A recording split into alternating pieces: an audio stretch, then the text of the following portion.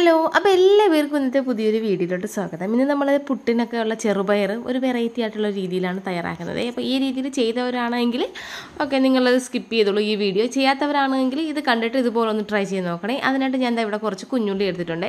ഒരു പത്ത് ഇരുപതോളം കുഞ്ഞുള്ളി ഞാൻ എടുത്തിട്ടുണ്ട്. അപ്പോൾ അതിനനുസരിച്ച് നിങ്ങൾക്ക് എത്രയാണോ എരിവ് വേണ്ടത് അതിനനുസരിച്ചുള്ള വറ്റൽമുളക് കൊടുക്കണം. നമ്മൾ ഈ ചെറുപയർ ഈ ഒരു രീതിയിൽ വെക്കുമ്പോഴത്തേക്ക് അതിന്റെ മെയിനായിട്ട് നമ്മൾ എടുക്കേണ്ട രണ്ട് കാര്യങ്ങളാണ്. ഒന്ന് ചെറുപയറും ഒന്ന് വറ്റൽമുളകും. അപ്പോൾ കുറച്ച് കൂടുതൽ ചെറുപയ ആ, ചെറുപയർ ഞാൻ എടുത്തിട്ടുണ്ട്. അതുകൊണ്ട് ഞാൻ അതിനനുസരിച്ച് തന്നെ കുഞ്ഞുള്ളി എടുത്തിട്ടുണ്ട്. കുഞ്ഞുള്ളിയിലോട്ട് ഞാൻ ഈ വറ്റൽമുളകും കൂടി ഇട്ടിട്ട് നമുക്ക് മിക്സിയിലിട്ടിട്ട് ചെറുതായിട്ടൊന്ന് ചതച്ചെടുക്കാം.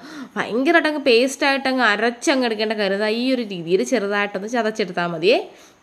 ഇനി നമുക്ക് തയ്യാറാക്കാം. ഇപ്പം ഞാനത് കടായിലോട്ട് കുറച്ച് ഓയിൽ ഒഴിച്ചിട്ടുണ്ടായിരുന്നേ. അതിലോട്ട് കുറച്ച് കടുകിട്ട് ഇട്ട് കടുക് ഒന്ന് പൊട്ടി വന്നപ്പോഴത്തേക്കും നമുക്ക് ഇതിലോട്ട് കുറച്ച് കറിവേപ്പിലയും കൂടെ ഒന്ന് ചേർത്ത് കൊടുക്കാമേ.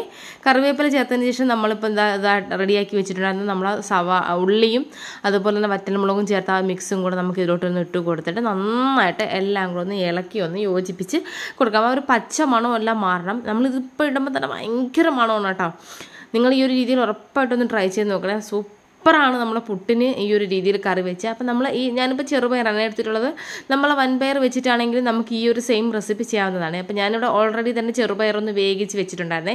ചെറുപയർ വേവിക്കുമ്പോഴത്തേക്കും ഇതാ ഇതുപോലെ നന്നായിട്ട് ഒന്ന് ഉടച്ചതായി ഈ ഒരു രീതിയിൽ വേണം ഒന്ന് വേവിച്ച് എടുക്കാനായിട്ട്. അതായത് നല്ല രീതിയിൽ ചെറുപയർ ഒന്ന് വേവിച്ച് എടുക്കണം.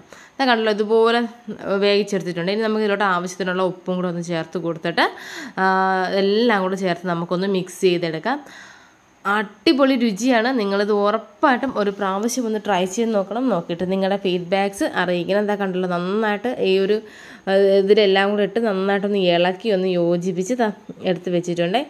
കണ്ടല്ലോ? ഇത്രയേ ഉള്ളൂ. അടിപൊളി രുചിയാണ്. അപ്പോൾ ഇതുപോലെ ഒന്ന് ട്രൈ ചെയ്ത് നോക്കാം നോക്കിയിട്ട് നിങ്ങളുടെ ഫീഡ്ബാക്ക്സ് അറിയിക്കണം.